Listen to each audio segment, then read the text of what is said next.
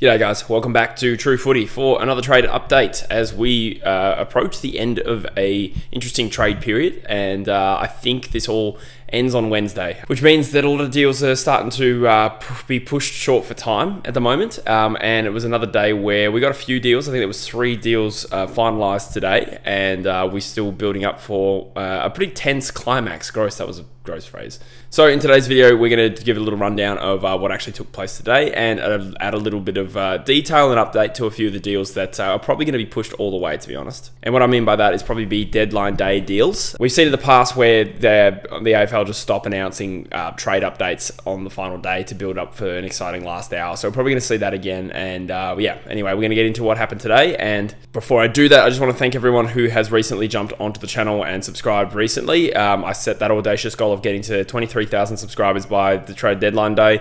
We're now about 48 hours from that, and uh, I think I just need 50 more subscribers. So thank you so much. We're closer than I really expected, but if we can get to 23k, that'd be amazing. As well, guys, for for extra content, obviously I've been doing these trade updates every day. Um, uh, yesterday, I did a sort of predictions for week two of the trade period, so you can see what deals are still uh, yet to come. And of course, I did a summary on Saturday morning, every trade from week one of the trade period already. So there's your summary content, and today we're going to get into what happened today. So the first one that took place was Liam Henry finally joined the St Kilda Footy Club. We knew this one was going to happen for a little while, and uh, interestingly, you know, I think I said in my predictions video that we kind of expected this one to be contingent on them getting their Jade Gresham compensation. So that would seem to be what was delaying this particular deal. But interestingly, the uh, the, the, deal that's been offered to Fremantle and subsequently accepted had nothing to do with uh, the Jade Gresham com compensation. It's funny in my predictions video, I uh, I said that the Gresham compo would go to uh, Fremantle and that would have been pick 23, I think, in this year's draft. Funnily enough, Drewzy messaged me last night saying there's absolutely no way that Fremantle would accept that. Funnily enough, what they have accepted is actually worse. So the details of the trade are that St Kilda have offered uh, Fremantle their future second round pick and their future fourth round pick for Liam Henry and uh, and a future fourth round pick going from Fremantle to St Kilda. So they swap future fourths and a future second round pick which is probably going to be in the late 20s, early 30s next year after academy, you know, bids and stuff that happen next year as well, which obviously is an inferior deal to pick 23. So uh, suck on that, Drewzy, first of all. But in all seriousness, um, you know, Liam Henry was a top 10 pick three years ago. And of course, you know, it, the further you get away from a player's draft, the less his draft position means. So after three years, it doesn't really matter that he was a top 10 pick. It holds a little bit of weight.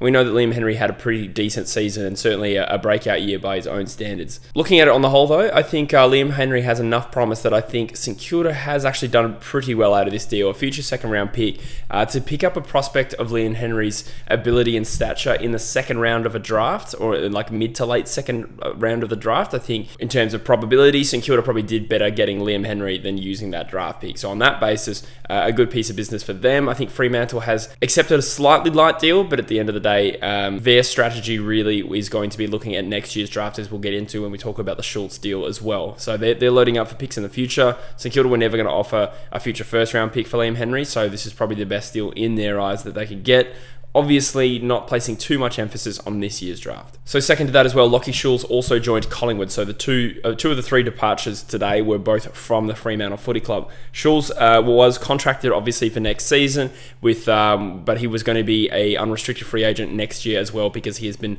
previously delisted. So Fremantle decided to deal in this year, uh, even though they technically didn't have to. They received two draft picks for this. They got pick 34 in this year's draft and Collingwood's future first round pick. So I think we said already in a previous video that the benefit of a future first round pick is twofold. First of all, uh, you know, there's talk of them potentially having targets uh, for next year, which we'll talk about in one second, but it's also tied to Collingwood's ladder position next year, which means that if Collingwood don't win the Premiership, that means that automatically that draft pick is going to improve on what this year's draft pick would be. Now, there is a chance Collingwood go back to back for sure, but there's also a reasonable chance that they don't. In fact, probably more than 50 50, you'd say. I don't even know what the probability would be, but it's, it's unlikely. So, the more likely than not, Fremantle have gotten a better pick than uh, pick 19 in this year's draft or whatever it is. So, to summarize the, the ingoings and outgoings, uh, Fremantle now have picks 34, 46, 60, and 64. So losing two players in this year's draft, they've shown an unwillingness to really trade into the first round of this year's draft, which probably shows a, uh, a lack of faith in it.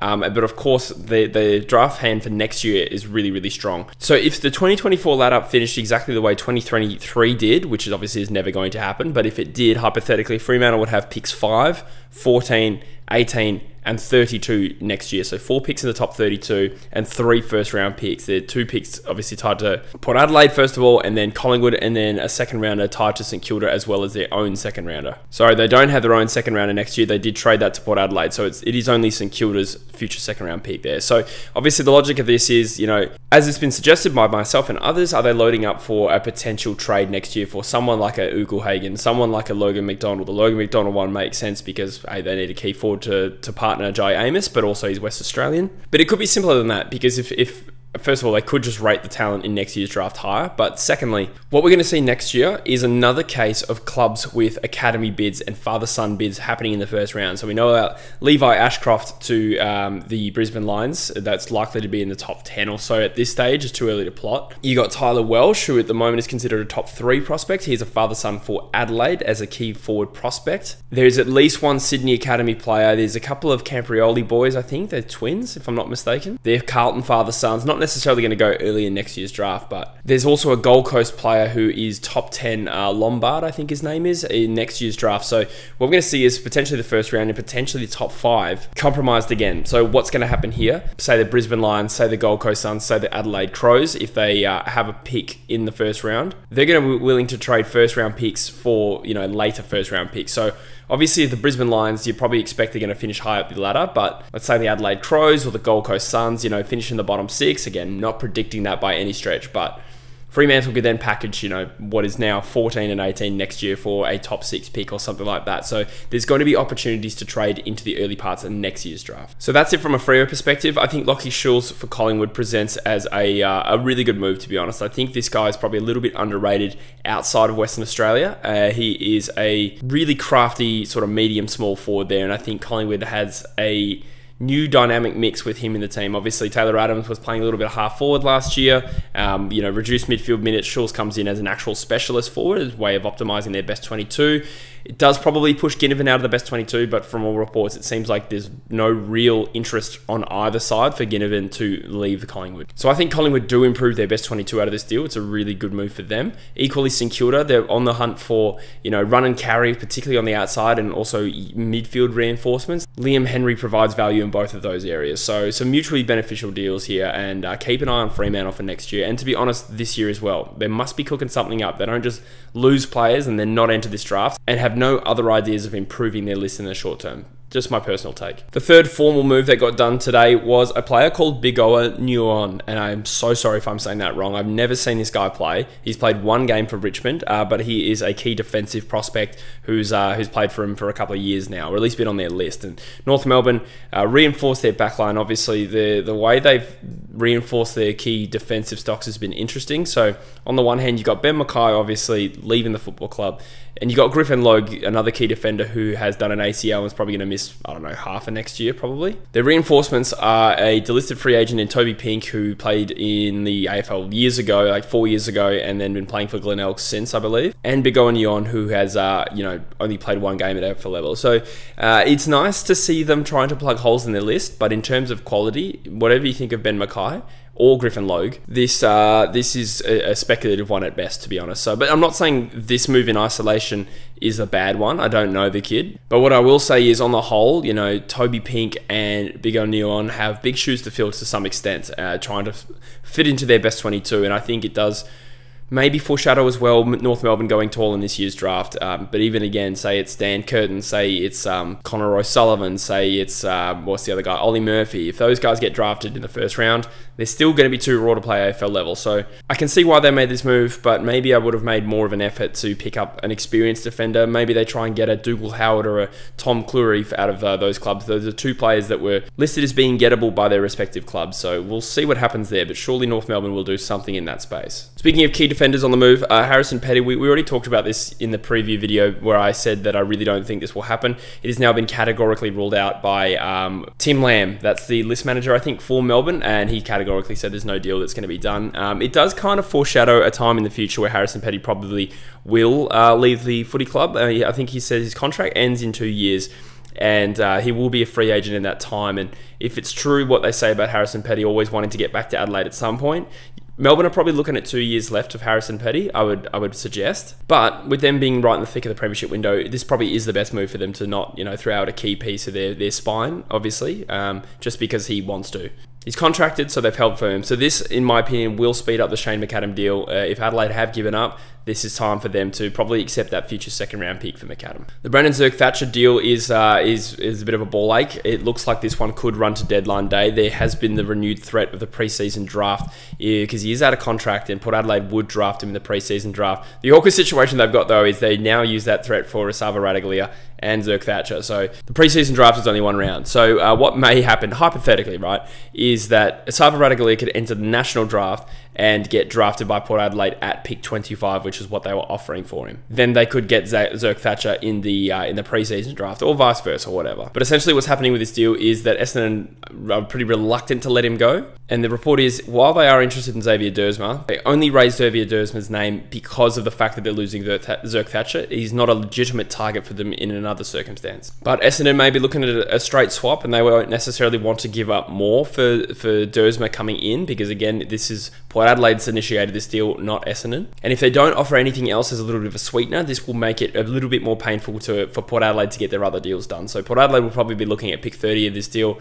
and hoping it unlocks potentially Esava Ratugolea as well. In other Port Adelaide news as well, um, this is probably the strongest suggestion I've seen that uh, Ivan Soldo could end up at Port Adelaide. Now, this is a rumor that uh, I've been, you know, circulating for a while, and I have been talking about on this channel. But according to Tom Morris on SEN, there is a renewed push to get Soldo to Port Adelaide. So this wasn't is an interesting one where I, I, thought it was weird that they were going for both Soldo and Sweet, two ruckman, two ruckman at their respective clubs who want to be number one ruck, both going to potentially be at Port Adelaide. I think that uh, is a little bit curious. But uh, someone called Davies from Port Adelaide said that the Power were open to acquiring both of them, which is an interesting one. That means to me that they see them both in their best 22. I really don't think Jordan Sweet would have requested a trade specifically to Port Adelaide unless he was given some indication he would get some pretty good game time there. He's not going to be a Bulldogs backup ruck and then be happy being a Port Adelaide backup ruck. I wouldn't have thought unless there's family reasons for going home, which there is no suggestion of yet. But while there is a renewed push, it is also reported that Richmond are holding firm on this because they believe he is a required player. He's, I presume he's contracted as well, which makes him difficult,